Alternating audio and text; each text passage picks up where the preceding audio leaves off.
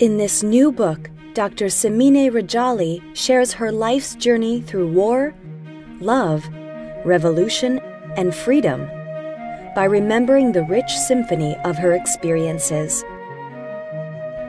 From Iran's ruling class to her job seeking struggles in the United States, memories of war and peace are weaved together in a unique melody of human existence.